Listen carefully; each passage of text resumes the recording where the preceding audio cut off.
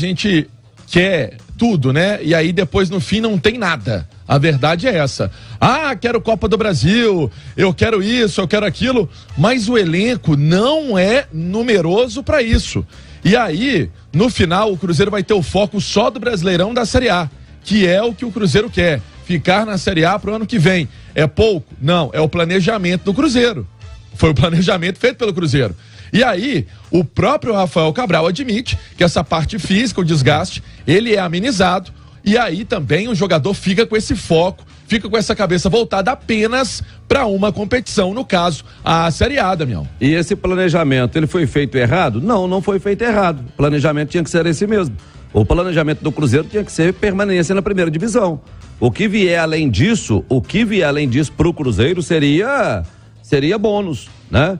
Se viesse um título estadual em Minas Gerais, seria bônus. Se viesse, ou se vier uma, uma Copa Sul-Americana, seria bônus. Avançar para uma semifinal de Copa do Brasil seria bônus. Eu acho que o Cruzeiro fez uma boa participação na Copa do Brasil e é o que se esperava do Cruzeiro. E agora que ele se mantenha, pelo menos até fechar o primeiro turno do Campeonato Brasileiro, na parte de cima da tabela, que é na primeira página da tabela, os dez primeiros colocados porque aí ele se distancia, ele fica longe, pelo menos, da zona de rebaixamento. Depois, na reta final do campeonato nacional, aí é pensar numa Copa Sul-Americana, aí é pensar numa vaga, quem sabe, numa pré-Libertadores. Aí o Cruzeiro pode pensar em outras coisas, mas por enquanto, esse é o planejamento. E eu acredito que o Cruzeiro não tem errado nesse planejamento, não, ô Simões. De forma alguma, Álvaro. Boa noite, Pancieri, Nath, quem acompanha a gente.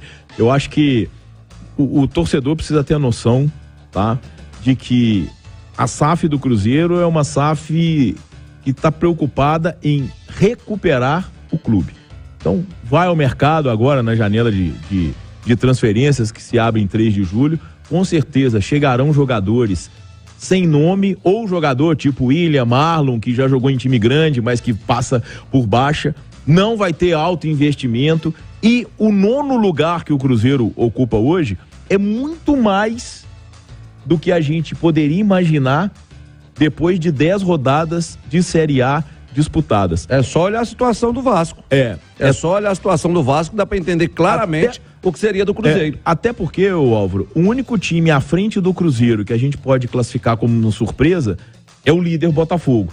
Né, porque fez um campeonato carioca muito ruim, mas vai liderando o campeonato brasileiro com justiça. Por que Tirando que isso. Faço, por que, que eu faço essa comparação com o Vasco? Porque é. o Vasco veio da segunda divisão junto com o Cruzeiro. E por que, que eu tiro o Grêmio, já que o Grêmio também veio? O, o Grêmio, quando caiu para a segunda divisão, ele mesmo com, na segunda divisão, ele manteve o nível de contratação, isso. ele manteve o nível de salário dos jogadores. Tem uma situação financeira equilibrada. Ele se manteve um time é. de Série A disputando a Série Sim. B. Então, é, tira o Grêmio dessa, dessa jogada. Agora, o Cruzeiro é comandado por uma SAF, assim como o Vasco da Gama. O Cruzeiro é um time grande como o Vasco, que vinha de pressão muito grande. Então, por isso a comparação com o Vasco. Olha a situação do Vasco hoje: seis pontos apenas no campeonato. Então, mostra que o Cruzeiro e o planejamento do Cruzeiro estão dando certo. Tomara que dê até o final. É, agora